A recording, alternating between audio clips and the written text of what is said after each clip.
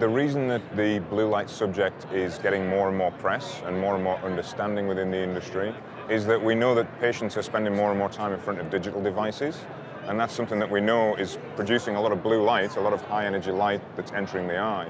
The eye does a really good job of filtering UV light before it gets to the retina.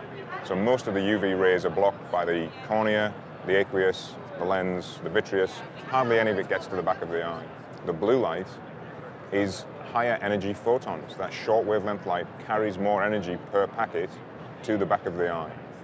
So when we talk to patients about protecting their eyes against blue light, yes, there's a conversation about circadian rhythm and about digital eye strain, reduced blink rate, those are all important things to address.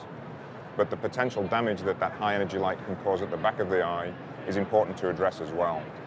If we use a blue lens, a blue blocking lens, we can protect from the outside, We've also got the ability to protect from the inside by rebuilding the macular pigment and maintaining it at a healthy level. Um, the macular pigment is yellow because it attenuates that short wavelength blue light.